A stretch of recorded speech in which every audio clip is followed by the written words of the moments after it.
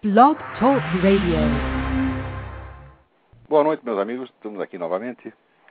Antes de tudo, deixa eu dar uns avisos, porque eu sempre esqueço os avisos.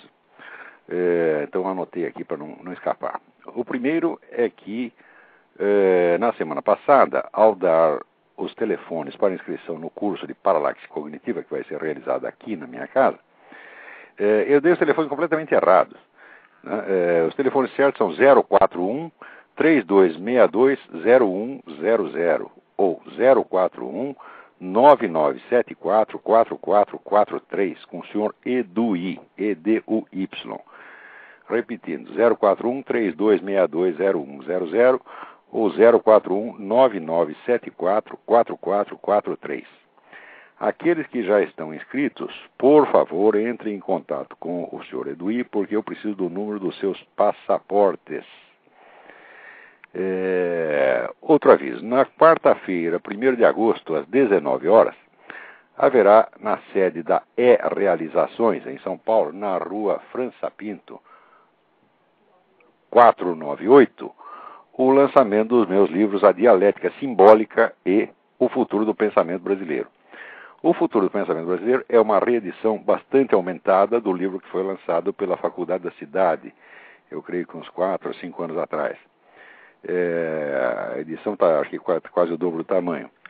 E a Dialética Simbólica é uma coletânea de, de trabalhos curtos, realizados ao longo de dez anos aproximadamente, sobre vários pontos específicos que eu fui tentando esclarecer à medida que me parecia necessário antes de me aventurar em questões mais, mais gerais. Então, tem ali alguns escritos que, inclusive, já foram publicados em edições pequenas, como os gêneros literários, por exemplo, é, que depois desapareceram. Não tem, esses são livros que estão completamente esgotados há muitos anos. Então, esses livros estão reproduzidos, esses textos estão reproduzidos lá. O, o Símbolos e Mitos no filme Silêncio Inocentes também está lá. E assim por diante. Tem vários, vários, é, vários trabalhos curtos. É, muito bem.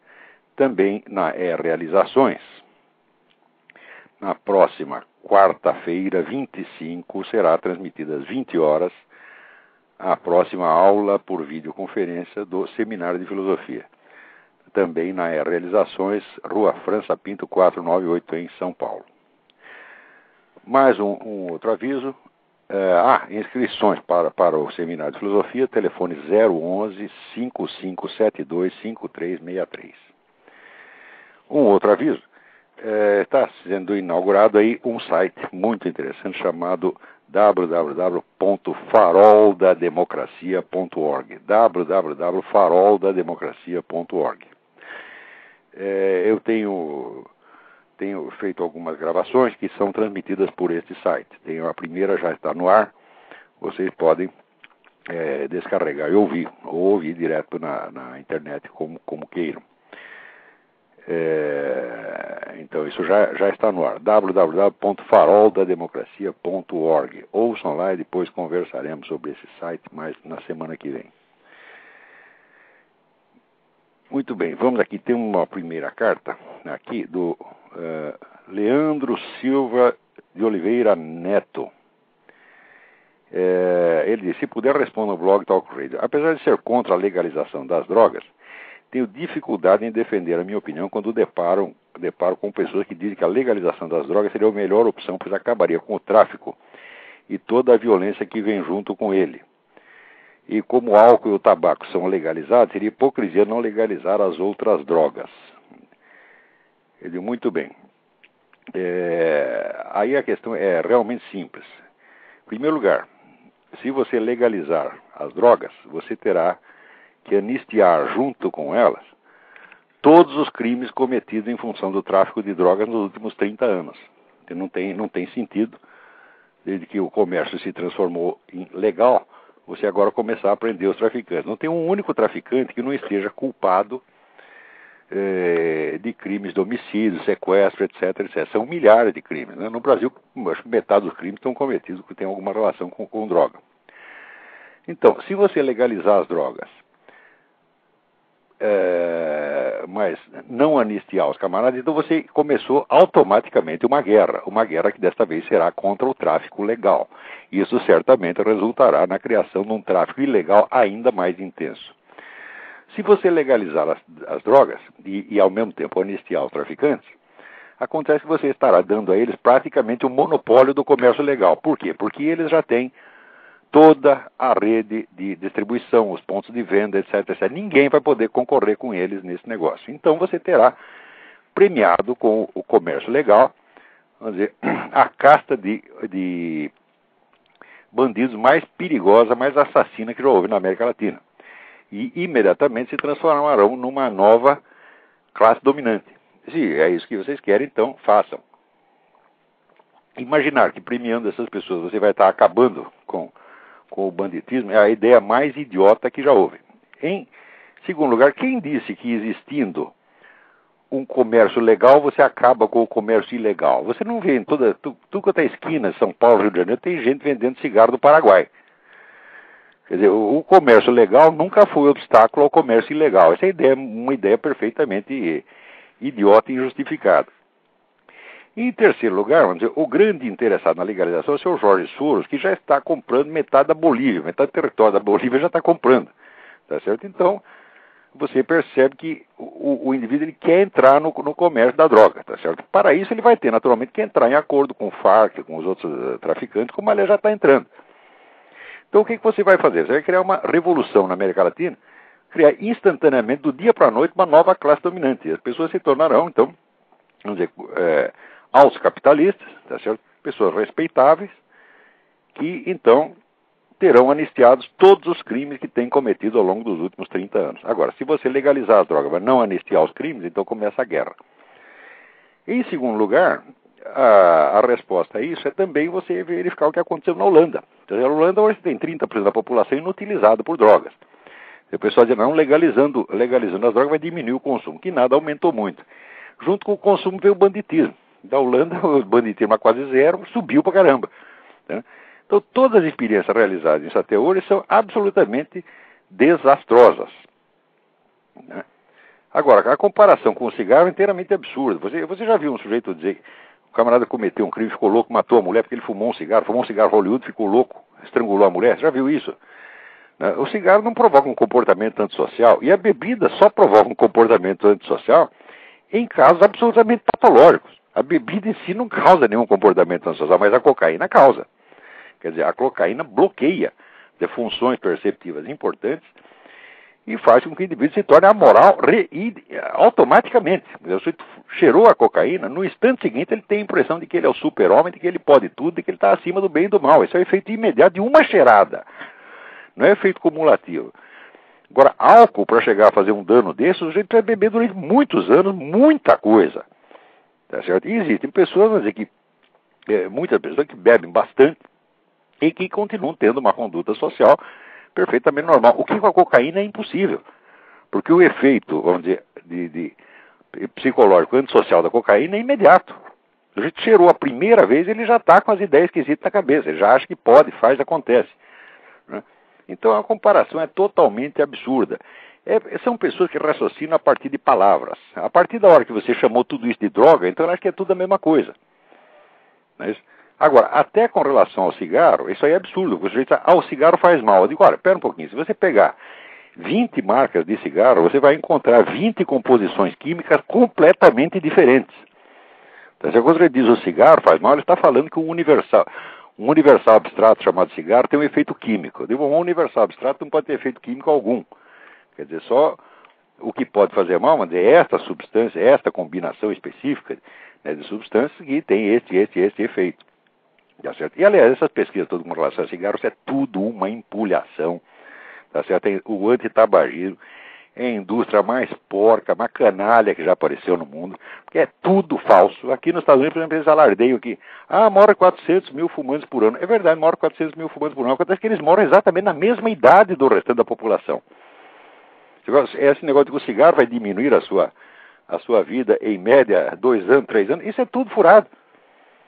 Dizer, acompanhe no site chamado www.forces.org e você vai ver lá vamos dizer, as pesquisas que não são divulgadas. Porque é, organizações como a ONU, como a Organização Mundial da Saúde, são organizações criminosas que estão aí só para tirar dinheiro dos governos, tá certo? E não prestar serviço nenhum, tá certo? Então, tá lá as pesquisas que eles mesmos fazem e eles não divulgam. Eles só divulgam o que coincide com a causa antitabagista. Por exemplo, essa, entre essa, esse dado que eu acabei de lhe dar, a respeito da mortalidade de 400 mil por ano, isso aí é da própria Organização Mundial da Saúde. Então, isso eles colocam só na publicação técnica.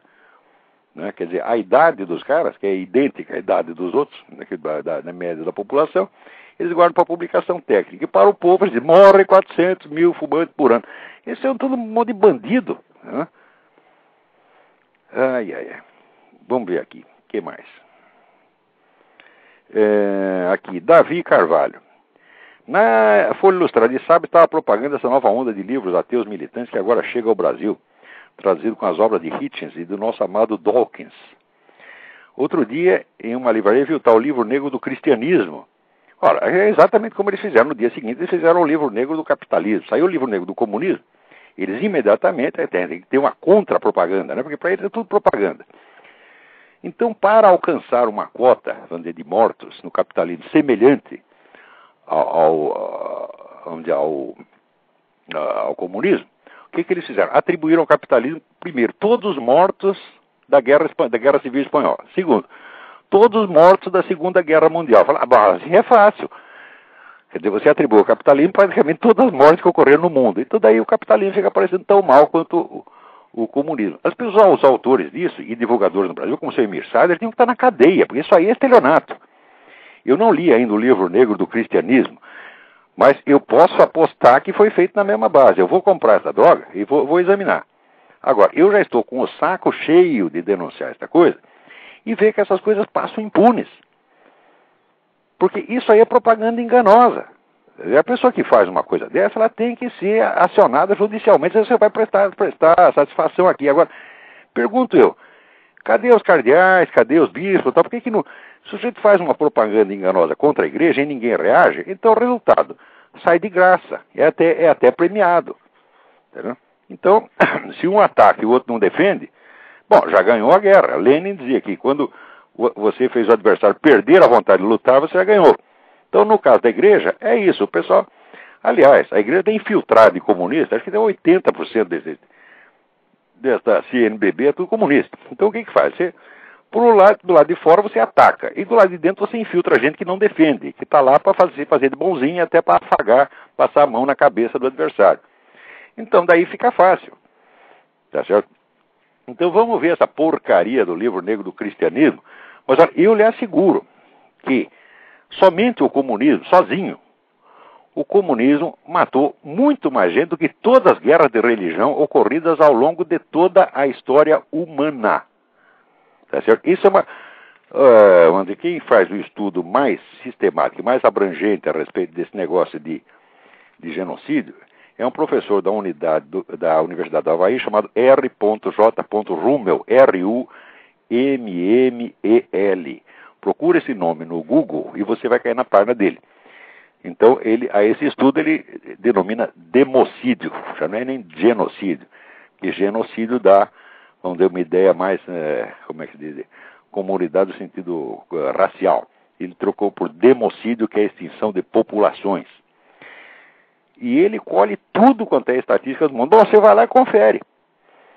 Se você somar todas as guerras de religião e mais, todas as epidemias, terremotos, pestes, etc., que teve ao longo da humanidade, hum, da história humana inteira, no mundo inteiro, não dá para comparar com o comunismo.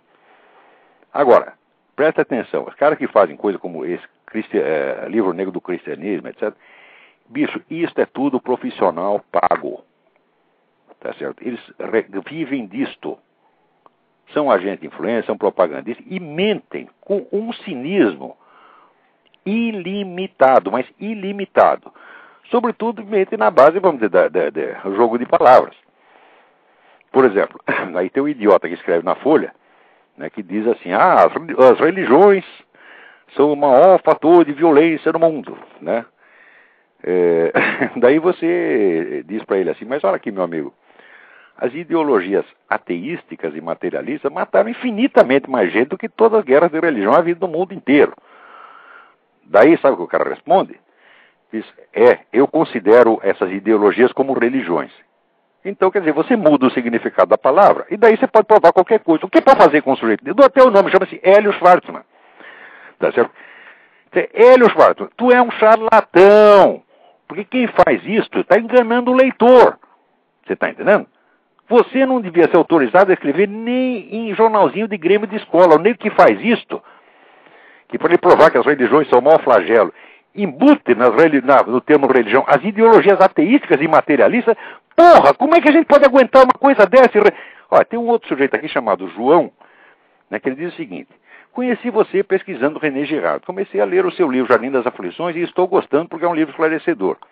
Naturalmente, porque gostei e interessei em me saber mais sobre o seu trabalho. Nessa, procuro ouvir o seu talk show. Surpreendi-me ao ouvir vários palavrões, tal como vai tomar no cu, etc. Nesse sentido, gostaria de saber o porquê. Tá vendo, João? O porquê é esse? Por que, que tu quer que eu discuta educadamente com um filho da puta desse? Você está entendendo? Eu discuto educadamente com gente honesta, com vigarista não. Não é uma questão de divergência de ideias, pelo amor de Deus. Isso não é divergência de ideias, isso é empulhação. E o cara sabe que é empulhação. Quer dizer, olha, eu já tenho examinado, lido e enfrentado essa gente faz anos. Só que é o seguinte, meu saco estourou. Eu fui educado até onde dava. Não dá mais. Você está entendendo? Então, o que, é para fazer com esse artigo? Esse é Hélio Schwartz, pega esse artigo e enfia no cu. Isso é a coisa mais educada que eu posso dizer para ele. Né? Eu não vou aceitar discussão educada, mas de jeito nenhum. De jeito nenhum. Porque a especialidade dessa gente é a coisa pérfida. Por exemplo, o sujeito escreve, você escreve um artigo muito educado e menciona você, e no meio lá acusa você de nazista ou de homofóbico, que acusou de dois crimes. Você quer que eu responda o quê? Tá? Nazista é a puta que eu pariu homofóbica é o cu da sua mãe. Eu não posso dar uma resposta educada a duas falsas imputações de crime e eu também não posso processar individualmente todos os canalhas que fazem uma coisa dessa. Então, responder educadamente a isto é você legitimar a prática de um crime contra você mesmo. Ora, eu nunca acusei ninguém de crime que eu não pudesse provar.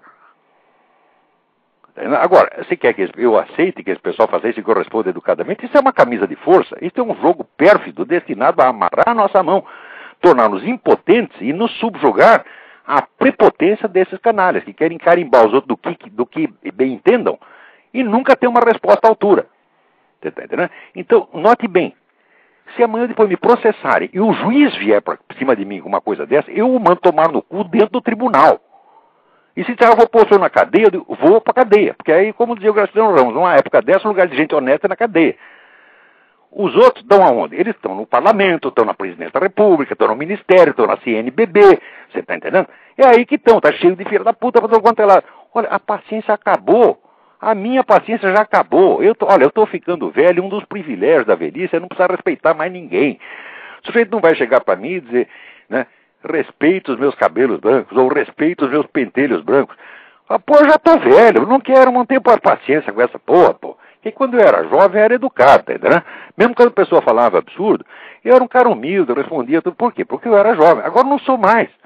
Eu respeitava os mais velhos, agora não há mais velhos para respeitar, tá entendendo? Quando tem velho, só tem velho canalha. Você tá entendendo? O que, que, é isso? Aparece o seu Marco, Marco Aurélio Garcia, tá lá cheio de cabelo branco. Vou respeitar os cabelos brancos desse merda? O que, que é isso, porra? Esse sujeito tá lá, mora aquele bando de jeito, o nego fica fazendo lá top, top e outro fazendo fuque, fuque. E quer que eu respeite? Quer dizer, mandar tomar no cu um nego desse é ser demasiado atencioso. Porque era para lhe dar uns tapas na cara, uma cuspida no olho. Você tá entendendo? Olha, tem gente aí na linha, vamos ver. Alô? Alô, Olavo? Eu? Olavo Rafael aqui de Salvador, tudo bem? Tudo bem, Rafael. Olavo, mudando aí um pouco de assunto, é, eu estou lendo aqui o livro Ética Nicômaco, cheguei ao seu final, e ele fala sobre... Qual que é? Peraí, eu não entendi, não entendi o... O livro de Aristóteles sobre a ética. Ah, sim, sim.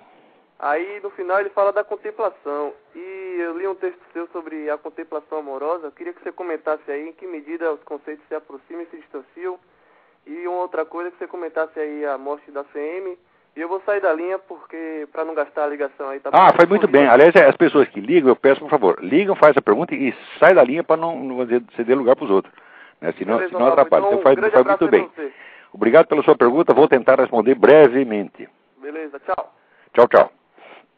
Então, muito bem. Aristóteles coloca a atividade contemplativa, cognitiva, de, de tipo contemplativo, no topo da, da, inteligência humana, mas em parte alguma, ele é, fala algo sobre a técnica, sobre o conteúdo mesmo da, vamos dizer, da experiência contemplativa. Esse texto meu, que se chama Da Contemplação Amorosa, que todos podem encontrar no meu site, tá certo? É, ele esclarece um pouco mais dos, dizer, das condições é, intelectuais e psicológicas requeridas para o conhecimento contemplativo. Agora, é, fala contemplação, o pessoal já pensa um negócio místico, então não é, não, é bem assim. É, é, eu talvez num outro programa eu possa até explicar isso com mais, mais atenção. É, mas de qualquer modo, veja, uma, uma distinção elementar. É, você pode fazer essa facilmente essa experiência. Você deita na sua cama, fecha os olhos tá e começa a prestar atenção nos ruídos, todos os sons que chegam até você. Se ouve uma buzina, se ouve um passarinho cantando, o ronco da geladeira, etc, etc. Você está percebendo que nesta atividade você está puramente passivo e receptivo. Agora, em seguida, você pode fazer um outro exercício para você contrastar. Você fecha os olhos e imagina um fundo totalmente preto, e ali você imagina um pontinho branco. Em seguida, você faça esse pontinho branco se deslocar à direita, formando uma linha branca. Depois, de, de, para correr uma certa distância, faça um ângulo reto e desça com a linha e vai formando um quadrado. Presta atenção, esta atividade mental é puramente construtiva. Num caso, você está recebendo o que vem de fora. Tá certo? Isso aí é, é o, vamos dizer, esses dois exercícios são sugeridos num livro maravilhoso de um autor chamado Narciso Irala, que chama Controle Cerebral Emocional. Só que ele dá esse exercício para fins terapêuticos. Eu uso os mesmos dentro de um outro contexto para fins cognitivos, para você aprender a distinção entre o que é perceber, tá certo? Que é uma atividade contemplativa, tá certo? E o que, que é você criar ou montar, tá certo? Ou construir mentalmente a quase totalidade das pessoas que eu conheço, e estou falando disso não de gente do povão, mas de formadores de opinião, etc., não são capazes sequer de perceber essa diferença. Quer dizer, o sujeito não percebe quando ele está escrevendo sobre algo que ele percebeu e quando é uma construção mental criada por ele mesmo. Nem isto os idiotas percebem. Tá certo? Por exemplo, o nego que diz, e diz, eu incluo as religiões, eu incluo as ideologias materialísticas na, na roda de religiões, digo, isso não pode ser percebido nos fatos de maneira alguma. Isso tem que ser criado mentalmente, mediante um arranjo. E você tem que ter uma alteração de significado de palavra para se adaptar a um propósito seu. Então, vamos dizer, isso não é uma atividade perceptiva. O sujeito não percebeu isso, ele está criando, está montando isso. Tá certo? Ora, ao longo do tempo, tá você começa a ver que muitas coisas que normalmente nós aprendemos por método construtivo, mais ou menos como você monta uma demonstração geométrica, ou como você monta uma figura geométrica, muitas dessas coisas, depois de você tê-las montado por este método geométrico construtivo, aí você pode contemplá-las. Do mesmo modo, vamos dizer que o arquiteto que constrói um edifício, uma obra de arte, uma catedral, por exemplo, depois de construído, ele pode contemplá-la toda de uma vez, tá certo? E ele pode, como ele conhece todos os pontos da construção, os lugares, os ângulos, etc., etc., de certa maneira ele pode perceber simultaneamente dizer, aquele edifício com todas as suas direções e desde muitas perspectivas simultâneas. Então, aquilo que era objeto de construção se torna, por sua vez, objeto de contemplação. Tá Essas coisas que deveriam ser ensinadas. Pois, o que eu estou falando não são doutrinas, são técnicas. Essas, se o sujeito não sabe essas técnicas, ele não sabe merda nenhuma de filosofia. Isso quer dizer que ó, todos esses professores de filosofia do Brasil é tudo empulhador, eles não têm a menor ideia do que é técnica filosófica, não sabem sequer distinguir percepção, percepção de construção. Sabe talvez o conceito, mas ele não sabe fazer isso na prática. Porque ele não percebe quando ele está expressando uma percepção e quando ele está construindo, por exemplo, um raciocínio.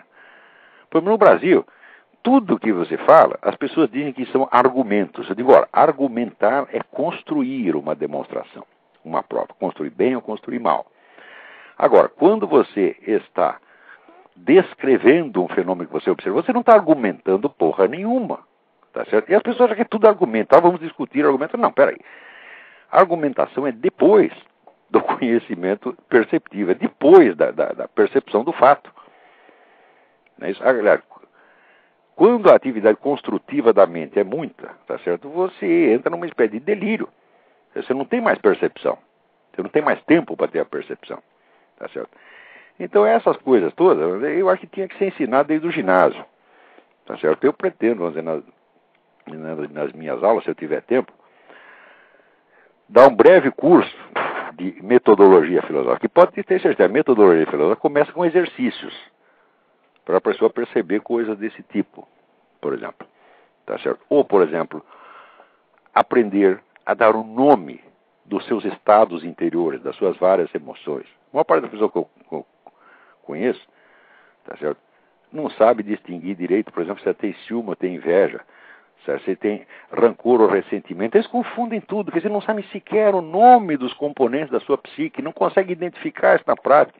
Então são pessoas que estão como que bêbadas, entendendo? Estão fora da realidade.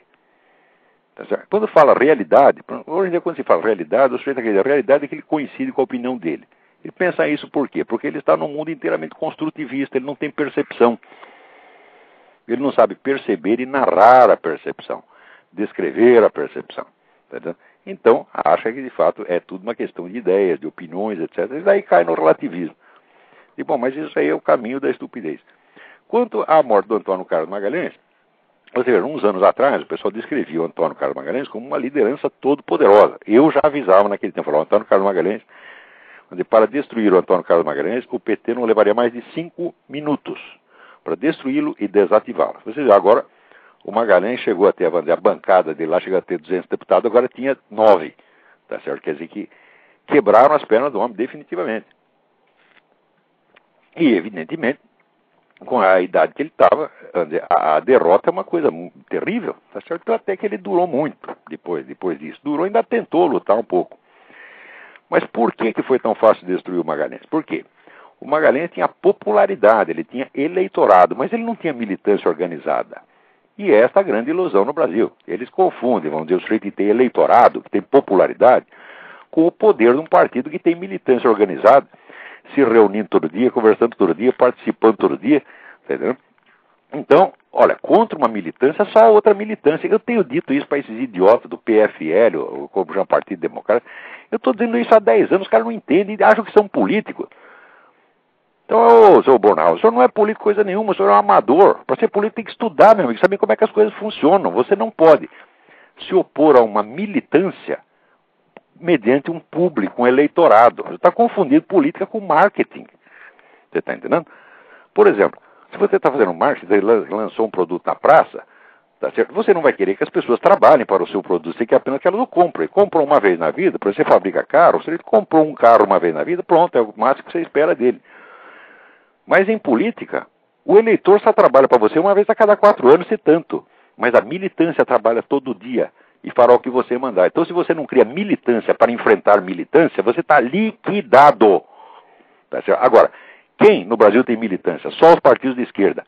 Os outros raciocinam só em termos de marketing. Então, ó, não tem. Todos os partidos de, de direita, PFL, PP, o Party, não tem um político lá dentro, só tem caipira. Você está entendendo? Que é um bando incompetente, tá certo? Que devia estar tá, sentar aqui e perguntar, sim, professor, o que, que é para fazer? O dia que tiver a humildade para fazer isso, eu lhes ensino alguma coisinha, tá certo?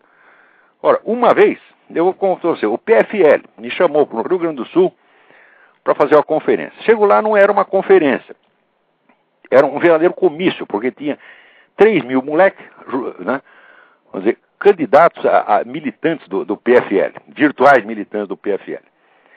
E botaram lá uma mesa de conferencista para falar para aquela molecada. E eu falei, você não pode reunir 3 mil moleques para você fazer uma conferência.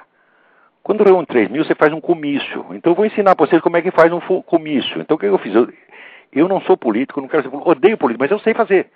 Eu falei, eu vou mostrar para vocês como é que se faz um comício. Tá certo?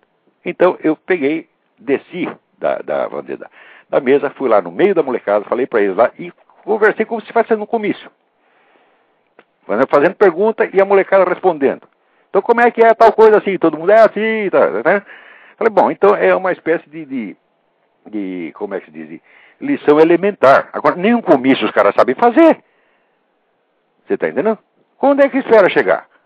Esse pessoal do PT tem gente treinada já tem gente treinada na União Soviética, tem gente treinada na China, tem gente treinada em Cuba, está cheio de profissionais altamente gabaritados.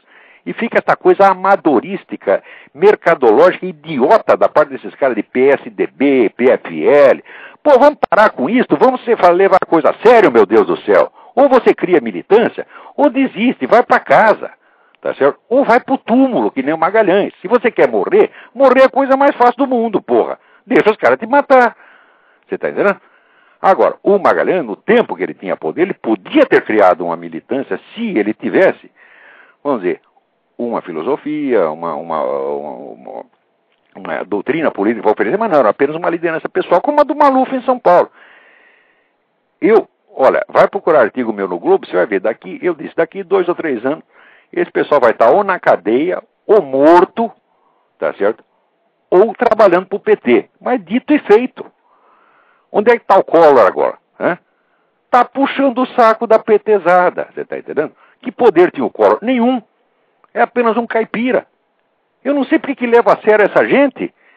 No Brasil, entre os direitistas ou conservadores, chame como quiser, não tem um político. Estão todos vereador do interior na melhor das hipóteses. Você está entendendo? E é uma gente orgulhosa que acha que sabe e quando chega o sujeito que estudou, que conhece o negócio, tá, o que, que eles querem fazer? Eles ficam com invejinha de você e querem mostrar que eles também são intelectuais. Então vão tudo a merda, tá? Vocês estão tão ruins quanto o PT. Tem alguém na fila aí, vamos lá. Alô? Alô? Olá, meu nome é Ellen e eu estou falando dos Estados Unidos. E Bom, eu tenho uma pergunta. Tudo bem com você? Tudo certinho. Então tá bom. Eu tenho uma pergunta de um amigo meu do Brasil, o nome dele é Carlos. Uhum. É, ele estava escutando um dos seus papos com o Yuri no YouTube e você realizou algumas críticas a respeito de Martin Heidegger. E eu gostaria de saber, na verdade ele gostaria de saber, é interessante para mim também, é, qual a sua posição sobre o filósofo e se você poderia indicar algum artigo seu onde você poderia estar explicando de uma forma melhor. Ah, eu só gostaria de deixar claro que não é nenhuma crítica, a gente só gostaria realmente de saber qual a sua tá posição tá bom. Obrigado pela pergunta, Ellen. Vou, vou tentar responder. Olha, essa questão do Martin Heidegger eu analisei muitas vezes em aula, deve ter gravações. Eu nunca escrevi tá certo, a, a esse respeito, tá certo? Mas, é, basicamente, o problema com Heidegger é o mesmo problema de Hegel. Quer dizer, é um sujeito que tem um enorme talento filosófico, um gênio filosófico, mas é desonesto. Tá certo? O Heidegger começou a carreira dele, tá certo? ele era de família católica, ele acabou, vamos dizer, virando protestante porque era mais fácil para subir na carreira, na carreira universitária. Quer dizer, o nego que já sacrifica a sua fé, a sua carreira, você vê que já começa com um negócio mais, mais ou menos errado. Ao longo do tempo, você vê que essa, esse erro inicial, ele acaba se abrindo como se fosse um ângulo, né? Que no, no começo, vamos dizer, é, perto ali da, da, raiz é pequenininho, mas à medida que vai se afastando, vai abrindo, abrindo, abrindo, vira um rombo, né? E o rombo aí do é, aí do, do Heidegger, vamos dizer, toda esta questão que ele fala, vamos dizer, do sobre o ser, a ideia de que o ser foi abandonado tá certo, pela filosofia ocidental desde os pré-socráticos, que o pessoal só falava dos entes, em primeiro lugar isso é mentira, isso realmente não é assim. Tá? É mais ou menos uma, uma crítica que depois, em outros termos, o próprio René Guénon é, faria. Tá? Então, em primeiro lugar, esse é um julgamento injusto de toda a filosofia ocidental. Segundo, quando o nego diz, olha, Durante dois mil anos toda a filosofia esteve errada, todo mundo errou, e agora eu vou apresentar o certo para vocês. Já, já é para começar a desconfiar um pouco, por quê? Porque filosofia é uma tradição. Quer dizer, você vai, você vai tendo uma espécie de efeito acumulado e você tem que raciocinar em cima do que os seus antecessores fizeram. Você não tem como derrubar tudo. E o Heidegger, vamos dizer, é um dos grandes pais desse negócio que hoje se chama o desconstrucionismo. Tá certo? Então, o desconstrucionismo consiste no seguinte: consiste em você derrubar todos os pilares do conhecimento e daí sobra em cima o quê? Sobra a vontade do Führer. Mais ou menos como Nietzsche, né? A transvaloração de todos os valores. Você derruba todos os valores, então não tem mais valor. Então agora só tem o quê? Tem a total liberdade. Presta atenção. Quando você tem a total liberdade, não há mais limite, tá certo? Então quem é que vai ganhar a parada? O mais descarado, o mais despudorado. Sempre vai aparecer algum Hitler, algum Fidel Castro e vai botar o pinto na mesa e dizer quem manda é ele. Tá certo? E é para isso aí que o seu Heidegger contribuiu. Tá certo? Quem faz umas análises muito boas de Heidegger é o Eric Voegelin, né? V-O-E-G-E-L-I-N. Procure esse autor, tá certo? E você verá ali as observações arrasadoras. Eu vou tentar escrever algo mais, pegar nas minhas aulas, as coisas que eu já fiz, e, e, e voltar a isso, tá certo? Lamentavelmente, no nosso programa vai ter um limite, assim, pra, o máximo que dá para dizer é isso aí. Muito bem. Agora, aqui, o Silvio Camargo manda aqui uma, um escrito de um amigo dele chamado Lucas Mafaldo, sobre a política americana, Bush e os neoconservadores, entre a direita e a esquerda. E é, ele menciona aqui as análises feitas por um autor chamado Justin Raimondo, que defende que o neoconservadorismo está em total descontinuidade com a antiga direita americana é, pelo que entendi, os artigos ele defendem que o neoconservadorismo é simplesmente uma deturpação do conservadorismo original, causada, de certo modo, pela conversão de vários trotskistas à direita. E esses ex-militantes trotskistas continuaram com alguns hábitos de pensamento típicos da ideologia que tinham abandonado, especialmente a ideia da revolução internacional, que agora já não teria mais como objetivo a expansão do socialismo, mas sim a da democracia. Olha, esta, esta ideia do Lucas Mafaldo estão certíssimas, é exatamente isso. Eu sugiro que vocês leiam, deem uma olhada, esse é um, no blog dele, chama-se www.lucasmafaldo.contracorrente.com.br. É um blog de altíssimo valor, tá certo? onde se discute questões verdadeiramente sérias. E olha, dos formadores de opinião no Brasil, não tem nenhum que saiba o que se passa aqui dentro. Não tem um no Brasil, na Folha de São Paulo, no Estadão, na Veja, que tem a menor ideia do que é neoconservadorismo. Agora, o Lucas Mafaldo tem, porque ele acompanha. Né? Se o sujeito está lendo aí o, o Jet Here, o, o Justin Raymond, tá ah, bom, opa, aí já está sabendo o que está falando. É, então, esse negócio do neoconservadorismo começou, sobretudo, com a influência do Léo Strauss. Dentre os filósofos que saíram correndo lá da, do, do, da Alemanha nazista, é, teve dois que foram muito influentes aqui. Um foi o Leo Strauss e o outro foi o Eric Fögling. Tá certo? Acontece que a influência do Eric Fögling ela foi muito lenta e só agora começou a, vamos dizer, a, a marcar presença. Mas o Leo Strauss foi para a universidade mais importante e teve uma repercussão enorme, formou toda uma geração de, de intelectuais. E esta ideia mesmo, vamos dizer, da revolução internacional feita desde os Estados Unidos é uma ideia deles, tá entendendo? É, e é uma ideia de Jerico. Por que, que é uma ideia de Jerico? Você vê. Então, quando teve o, o 11 de setembro, né, o 11 de setembro foi um efeito, vamos dizer, foi causado por uma onda anti-americana que já havia fazia 10 anos. Essa onda americana, anti-americana parte daqui de dentro mesmo. Parte dos Ted Kennedy, Nancy Pelosi, Michael Moore, essa gente toda. Quando teve aquele ataque, o que, que o sujeito inteligente faria na, na, no lugar do George Bush? Fala, é a hora que eu tenho, é a oportunidade que eu tenho para dizer, liquidar esse bando de traidores. Ele tinha que ter chamado os caras à responsabilidade naquela hora e liquidar o inimigo interno primeiro, que é o que se faz numa guerra. Numa guerra você não vai entrar numa guerra com um país dividido. Você primeiro liquida o inimigo interno e daí tu vai para a guerra. O Bush fez o contrário, ele quis simular uma unidade nacional né, como se, vamos dizer, esse pessoal todo do Partido Democrático fosse gente muito patriota, e, e, fazer a guerra lá no Iraque, para quê? Para espalhar a democracia no mundo, conforme estava sendo recomendado pela escola do Léo Strauss. Resultado, tá certo? Ele não ganhou o Iraque, tá certo? E os Estados Unidos hoje está pior do que antes. Porque o poder dessa turma, o poder dos traidores, cresceu demais. Tá certo? Se ele fez isso por burrice ou por estar comprado por eles mesmos, eu não sei. Por quê? Porque tem um elemento aí que se chama CFR, Council on Foreign Relations, que é o órgão, vamos dizer, o órgão pensante do globalismo americano. Globalismo e, portanto, no fim das contas, anti-americanismo. O Bush é um membro do CFR. Tá certo? Então, como observa aqui o Lucas Mafaldo, quando o pessoal fala em Bush aí, eles pensam que é o sinônimo, do, de, no Brasil eles pensam que é o, o, o, sinônimo do direitismo, é o direitismo encarnado. Eu digo, mas precisa ser muito burro para pensar um treco desse. Aqui nos Estados Unidos, todo mundo sabe que se ele é um conservador, é na melhor hipótese conservador ambíguo, que dá um cravo na ferradura. Né? E que muito da política dele tá certo? pode ser explicado por burrice e muito pode ser explicado por um propósito deliberado de fortalecer, fortalecer o globalismo e enfraquecer os Estados Unidos. E como é que o negro pode estar interessado, vamos dizer, ser um defensor do interesse nacional, quando ele mesmo já assinou esse pacto com Paul Martin e Vicente Fox para diluir as fronteiras entre Canadá, México e Estados Unidos? Ou seja, dissolver a América, tá certo? Numa uh, unidade administrativa chamada Comunidade Norte-Americana. Você está evidentemente contra os Estados Unidos, tá certo? Então, dizer, o que hoje em dia, quando se fala em político conservador, você tem que tomar muito cuidado. Tá certo? Porque, você veja, o movimento revolucionário mundial tem do, do, três séculos já. Tá certo? E ele atua em todas as frentes.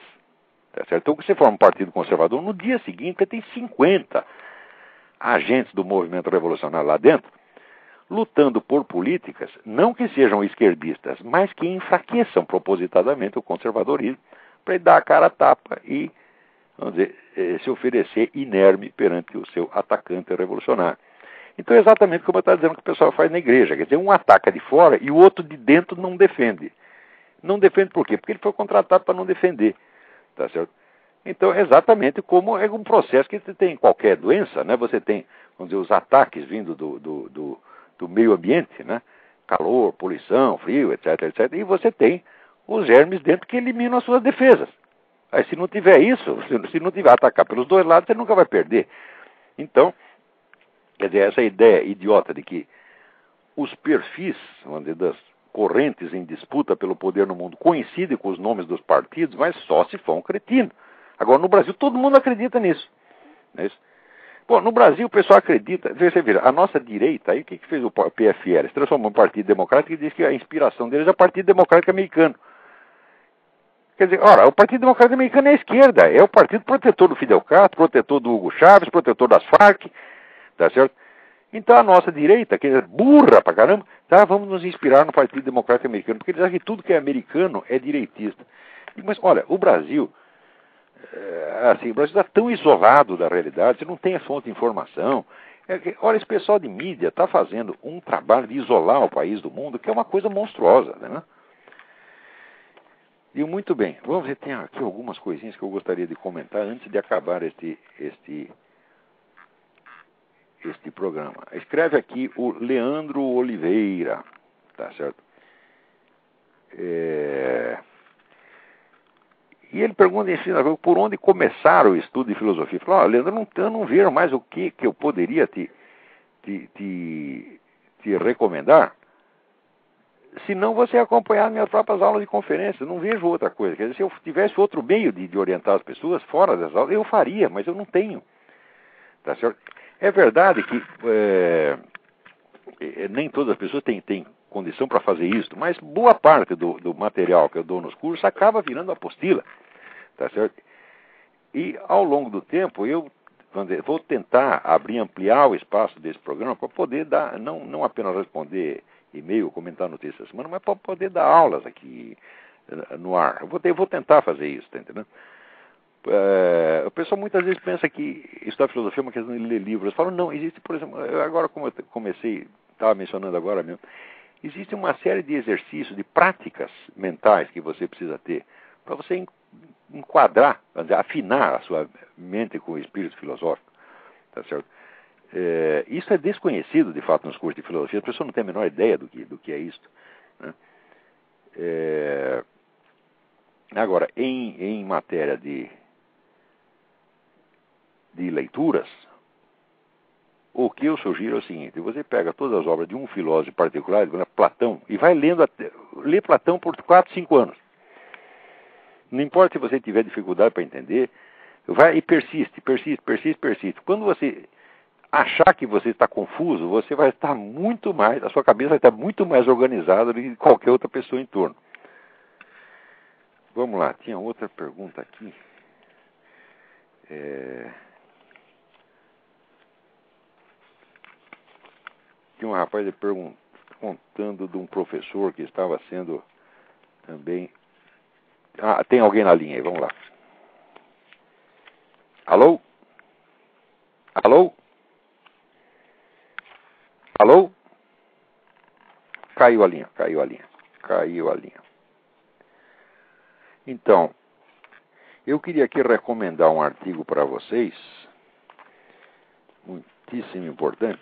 Vocês, os interessados, vão no, no site www.caucusforamerica, C-A-U-C-U-S, for F-O-R, america.com, caucusforamerica.com, e procura um artigo do Rabino Arié Spero, Arié A-R-Y-E-H, Spero, S-P-E-R-O, sobre a American Civil Liberties Union, ACLU, Enemy of American Christianity. Você vê que coisa.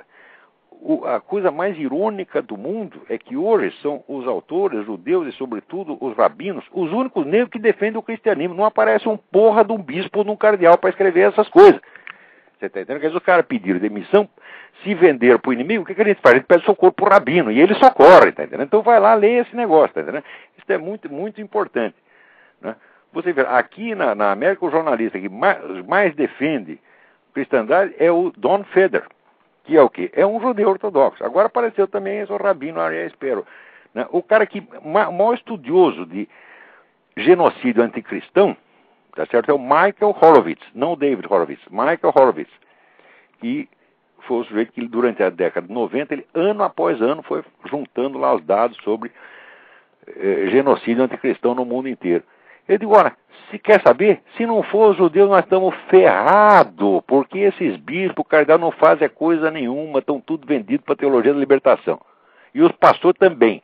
Todo mundo eles querem dizer, ah, nós aqui não falamos de política, nós aqui estamos para pregar o evangelho, amor. Tu, tu é um vendido, tá? tu trabalha para o satanás, rapaz, para com esta coisa. Quer dizer, tu não defende o teu irmão que está sendo lá assassinado e vem me falar de cristianismo.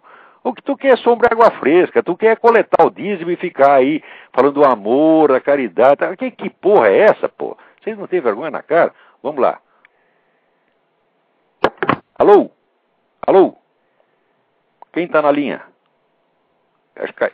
Alô, caiu de novo. Caiu de... Tem alguém tentando ligar aqui. Agora, atenção, tem outra carta.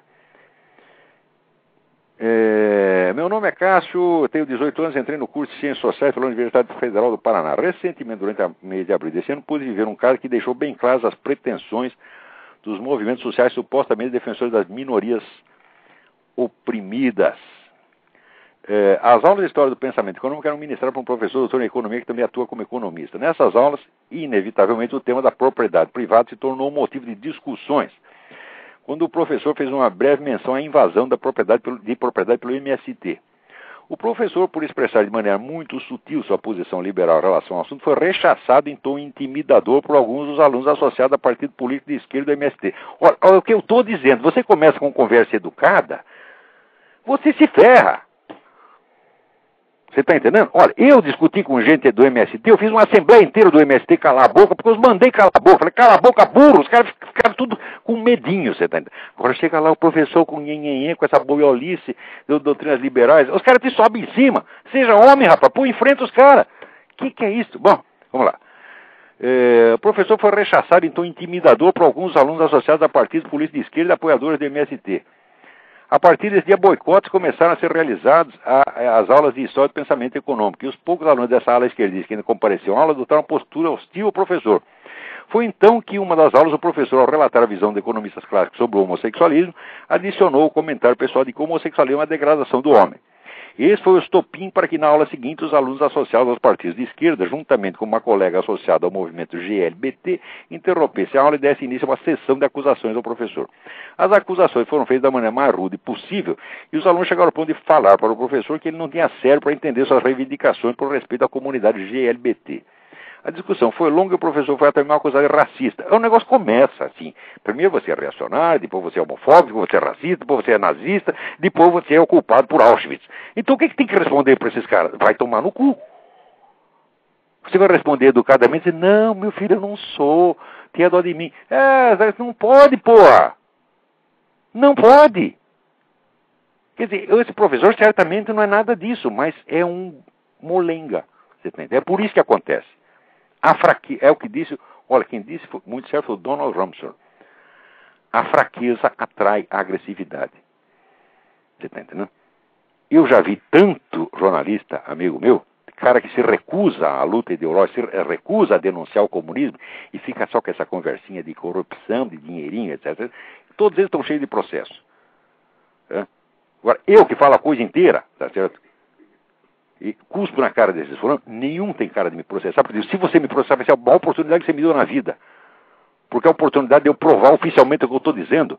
E tu vai sair de lá direto para cadeia. Tá certo? Além dos crimes que você fez, tu ainda tem mais um, que é a denunciação caluniosa.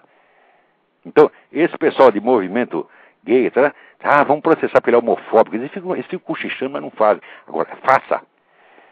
Faça. Vem, me processa por homofobia, desgraçado. Me processa. Eu vou lá, prova que você está mentindo, prova a sua má fé, tá certo? E você sai de lá direto para cadeia. Hã? Então, o que, que, é isso? Então, ó, quer dizer, nazista é a puta que eu pariu, homofóbico é a puta que eu pariu, tá certo? E não me venha pedir para ser educado, porque você me, se você me imputa um crime e eu digo apenas que sua mãe é puta, que não é crime, eu estou te acusando de coisa mais branda. A minha acusação é mais branda do que a sua. Então, dobra a língua, engula essa língua, desgraçado. E é assim que esse professor tinha que fazer. O dia que vocês começarem a falar, responder a criminosos, na linguagem com que se fala criminosos, tá certo? Eles vão ficar mais bonzinhos, tá? Agora, veja aqui, no caso, depois disso, o professor se retratou e falou que não voltaria mais a fazer esses comentários, mas que ele já possuía conceitos sobre o homossexualismo e não preconceitos, e não teria como reformular a sua consciência. Quer dizer, o sujeito que está falando com seriedade, ele ainda é obrigado a pedir desculpa. Ora, preste bem atenção, este movimento gay, ele não tem nada a ver com defesa de, de interesses reais da população homossexual. Ele tem, a ver, a, tem que ver a dar com, para um grupo militante, ativista e ambicioso, o poder de botar na cadeia quem ele quiser. Porque o número de condutas que podem ser condenadas como homofóbicas é imenso. Pior ainda, note bem, eles estão querendo uma lei que coloque na cadeia por crime coloque a pessoa na cadeia por suposto crime de homofobia. Antes da lei ser aprovada, eles já processam a pessoa por crime de homofobia.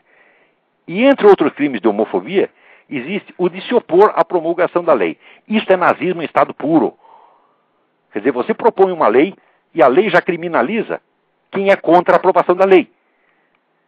Você já viu isso? Quer dizer, a discussão da lei já é criminalizada pela lei mesma. Ora, e vocês caem nesse engodo e querem discutir educadamente com o sujeito que faz isso? Quem propõe isso é criminoso, bandido, é mente perversa. Você está entendendo? Perversa não por causa do homossexualismo. Se sujeito saísse com, não com 500 homens, que nem o Luiz Mota, com 5.500, não seria perversidade comparado com isto. Isto sim é perversidade. Não estou falando da sua conduta sexual, seus vagabundos. Estou falando da sua conduta política humana tá certo? Eu não tenho nada a ver com quem você transa, tá certo? E nunca abri minha boca para criticar ninguém por ter transado com esse aquele. Mas espera aí. Vocês inventaram uma lei que já criminaliza quem a discute? Ah, não. E ainda dizer que vocês são minoria perseguida? Vocês são perseguidores, nazistas, totalitários, bandidos, criminosos.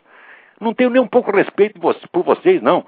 Tem outro ainda que escreve dizer, ah, você está associando a homossexualidade à, pedofilia. Eu estou associando? Não. Quem está associando é o Luiz Motti com aquela carta dele indecente sobre o moleque ideal, em que ele faz a descrição de um adolescente e se uh, baba de atração sexual por um adolescente e depois informa que o adolescente tem uma carteira de identidade de 18 anos. Que palhaçada é esta? E quem está associando é o Denilson Lopes, líder gay, que faz conferências condenando como intolerância qualquer condenação que se faça à pedofilia. São eles que estão associando, eu não estou associando coisíssima nenhuma. E para mim eu sei a diferença. Eu sei a diferença entre uma relação homossexual entre gente adulta e com um moleque. Agora, vai explicar isso para Luiz Mota e vai explicar isso para o Denilson Lopes. Né? Tem alguém aí na linha? Mas quase não temos mais tempo. Quantos minutos temos aí? Alô? Alô, quem está na linha? Alô? Não estou ouvindo nada. Não estou ouvindo. Desliga essa que está muito ruim. Alô? Ah, por favor, as pessoas que telefonarem, você abaixa o volume do seu computador. Senão fica quatro vozes em vez de duas e ninguém entende nada. Vamos ver, tem mais um aí na linha, vamos lá. Alô? Eu? É, é André Porto Alegre. Oi, tudo bem? Tá ouvindo? Tô ouvindo.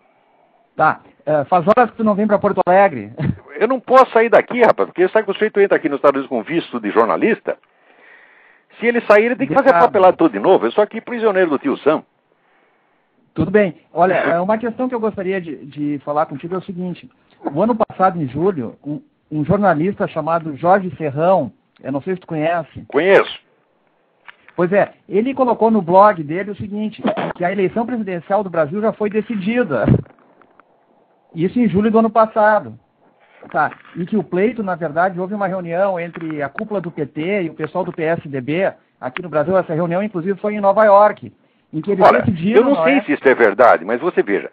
Se não existe um, um acordo prévio, se não existe, nas outras duas eleições, se não existe um acordo prévio, existiu pelo menos um acordo implícito, um acordo tácito.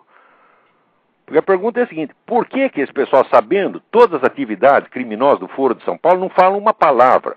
Por que, que eles acobertam esses verdadeiros crimes do PT e ficam falando de picuinha, de, de desvio de dinheirinho e tal? Claro que estão querendo proteger, claro que estão querendo excluir tá certo? o confronto ideológico. Claro que estão querendo acobertar o movimento comunista. O seu Geraldo Alckmin é culpado disso, o seu Zé Serra é culpado disso, o seu Fernando Henrique Cardoso é culpado disso. Tá certo? Então, se existiu um acordo, é criminoso. E se não existiu, tá certo? Esta subserviência, esta conivência é criminosa do mesmo jeito. Com certeza. Tá certo? Então, não é preciso uh, conjeturar que houve uma conspiração. Digo, olha, se não houve, é pior ainda. Porque se o nego não combinou nada, mas ele fez tudo que o outro quer que faça, então ele fez porque ele é um puxa-saco compulsivo, você está entendendo? Então, você bota um, um, candidato e como opositor dele, você pode um puxa-saco dele mesmo. Eu digo, o que, que é isto? Isso é eleição de carta marcada? Com certeza. Inclusive, isso foi tramado pelo, pelo Centro Tricontinental, que representa a nobreza econômica da Europa, europeia. É Evidentemente possível isso, porque você veja, o Brasil é o país mais subserviente à política globalista que tem no mundo. O Brasil não passa uma lei que não venha ditada pela ONU. E agora, note, presta bem atenção. Agora houve essa crise aérea. E o que, que o pessoal está propondo? Uma intervenção internacional. Exato. Olha, Inclusive, isso tudo não foi montado para facilitar uma intervenção internacional, então é, tá, tá, é muita coincidência. Agora, Inclusive, eu digo, os... 10 anos da eleição do PT, eu disse, você quer ver o que é entreguismo? Vote no PT. Põe o PT no, no, no governo e ele vai entregar tudo, como já está entregando. Inclusive é, o Porque trás a esquerda latino-americana trabalha para o esquema globalista internacional, isso é uma coisa óbvia. O, o, Conselho de Relações Exteriores dos Estados Unidos, inclusive, está por trás disso. Inclusive, tá, o CFR da... mete a mão em tudo, você está entendendo? Inclusive, eles estão por trás do Fórum de São Paulo, né? Eles fazem não tem a menor dúvida, não tem, não tem a menor dúvida. O pessoal de lá mantém muito boas relações com as Farc gente do CFR já fez várias viagens para na Colômbia, teve com, com, conversações muito simpáticas com as Farc. Nós temos que começar a esclarecer isso, nós temos que fazer que nem o americano faz. Entendeu? O americano vasculha tudo, descobre tudo e conta tudo. Agora o pessoal no Brasil só tem curiosidade quando é coisa de dinheiro. Exato. Parece que o dinheiro é mais precioso do que a vida humana, tá entendendo? Quer dizer, é esse pessoal de, de, de, de Farc então, estão sendo responsáveis hoje através do Comando Vermelho, do PCC, pela morte de 40, 50 mil brasileiros por ano. Ninguém liga para isso. Agora, quando desvia um dinheirinho, todo mundo fica assustado. Ou o ministro faz top-top, né? Quer dizer, não é porque o, esse Marco Aurélio Garcia não deve ser punido porque ele fez top-top, ele deve ser punido porque ele é o Marco Aurélio Garcia. Tá certo? O fato de ser o Marco Aurélio Garcia já, já deveria ser proibido. Ninguém pode ser o Marco Aurélio Garcia. Tá entendendo? Então, É, é isso aí, quer dizer, eu não sei se o Serrão tem razão com relação ao fato, mas ao espírito, significado, sem dúvida que tem. E Sim, mas a coincidência, a coincidência é o seguinte, ele relata esse fato e por coincidência estava o José Serra em Nova York, é, eles estavam lá. Todos eles, o Aécio Neves, que é o futuro presidente da República, segundo a visão dele, não é? Estavam todos reunidos em Nova York. Mas veja, que esta elite globalista decida os destinos do mundo é natural, porque eles acham que eles são os governando do mundo, eles acham que são os iluminados, eles sabem tudo, está entendendo? Quer dizer, há 50 anos só fazem cagada uma atrás da outra, só coisa horrorosa, está entendendo? Mas tem dinheiro no bolso e acha que pode, faz, acontece, está entendendo? Junta é essa gente mais Jorge Soros, fala, pronto, estamos liquidados. Nós estamos na mão de. de não, não, é mais cientista louco, é milionário louco. Porra, entendeu? Gente muito perigosa, eu diria. Perigosa porque acha que sabe. Você vê, ninguém pode decidir os destinos da humanidade. E assim, nem num país. Todo mundo quer soluções globais para tudo. Ninguém tem cabeça para isso, meu Deus do céu. E outro problema, Olavo, aqui no Brasil está faltando uma liderança para se contrapor ao que existe por aí, não é? Eu não consigo enxergar claro, porque a nossa direita, nossa direita, se não é vendida, tá é dada. Né? Porque no Brasil, se você corromper o cara, você nem precisa dar propina para ele, né? É a propina não. potencial, que o sujeito acha que você pode dar propina e já começa a trabalhar para você. Ou então fica com medo, pega a síndrome de Estocolmo, tá certo? e já cai de joelho na frente do inimigo, dizendo que você é maravilhoso, olha aí o nosso presidente operário. Tá? Essa é putada, todos esses banqueiros, capitalistas, todo mundo lambendo o saco de Lula. Tá aí Fernando Collor lambendo o saco de Lula. Meu Deus! E os caras não querem que eu fale palavrão. Eu digo, olha, presta atenção, estuda a vida do maior dos brasileiros que foi José Bonifácio de Andrade Silva. Tá certo? Ele dizia um palavrão atrás do outro. Tá? Você passa o dia xingando, tá né? Porque não aguentava essa merda, já naquele tempo, tá entendendo? Agora, o Brasil está pior do que no tempo da independência, é muito pior. Tá certo? Então, olha, infelizmente nosso tempo acabou. Temos que acabar o programa Exato. já. Antes que nos um cortem. abraço. Abraço, boa sorte. Muito obrigado, obrigado a todos, até a semana que vem. Abraço, boa sorte. Muito obrigado, obrigado. a todos, até a semana que vem. Abraço, boa sorte. Muito obrigado, obrigado. a todos, até a semana que vem. Abraço, boa sorte. Muito obrigado, obrigado. a todos, até a semana que vem.